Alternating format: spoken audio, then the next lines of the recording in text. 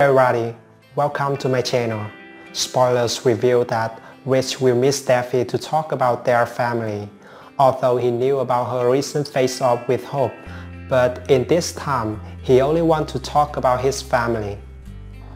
Ridge is trying to get Steffy's bond with Thomas back on track. Thomas hurt Steffy when he took part in the baby swap plan, and Steffy has been forgive him, but we still want to push it. which tells that Thomas is becoming a better person, and he is trying his best for his son. Steffy tells Ridge that Hope is preparing for a new plan to take care of Douglas. She wants Ridge that Brooke and Hope will push Thomas down and take Douglas. But Ridge one thing it can happen. He thinks that Douglas will live with his father and no one can separate them. But Ridge doesn't know that Hope and Brooke will have adoption papers for Douglas next week. And they can completely take Douglas away from Thomas.